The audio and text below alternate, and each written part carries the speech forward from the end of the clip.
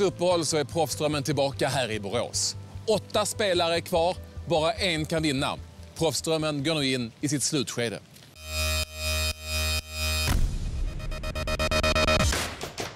Efter träningen klev alla ombord på bussen igen. Destinationen okänd, liksom uppgiften.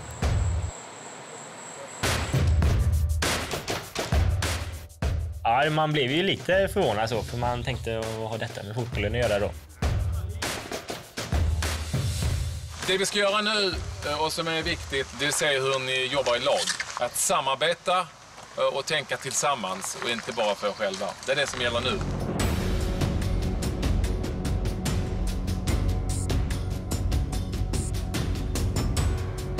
Så att vi har delat upp er i två lag av fyra personer. Uppgiften i den här tävlingen kommer att bli att ni tillsammans som ett team ska transportera fyra glas vatten genom banan. Så det är väldigt viktigt att ni är snabb, men att ni även kollar att ni inte förlorar vatten på vägen. För sedan ska vi mäta upp vem av er faktiskt har kommit med, ner med, med mest vatten då.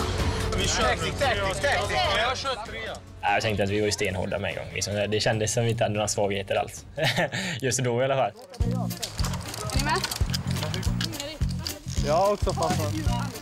Till vårt försvar som fotbollsspelare så var ju hakarna inte de lättaste hakarna att fatta sig på. Så.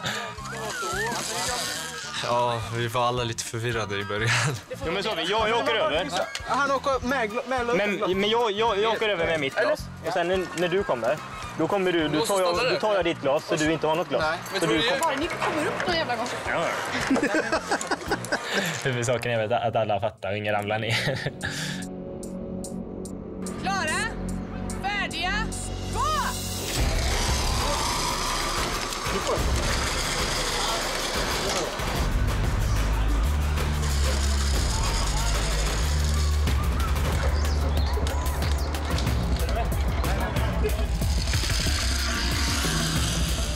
Olli, ta det lugnt.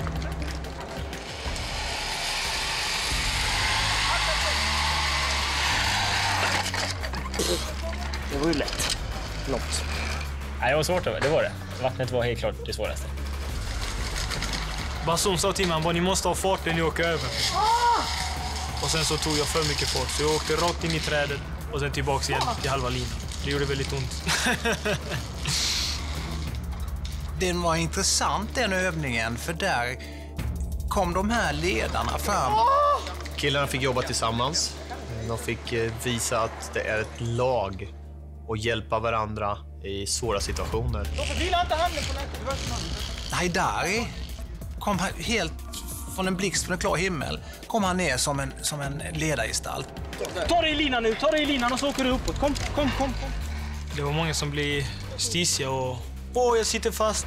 Jag var tvungen att försöka dra in kälken med repet och direkt när jag släppte den och försökte hissa in den så åkte den iväg igen. Det var jävligt krångligt och det resulterade i att jag fastnade med foten.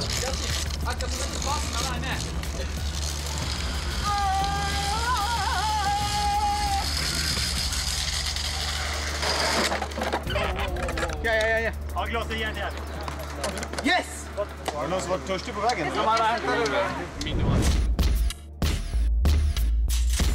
Bra!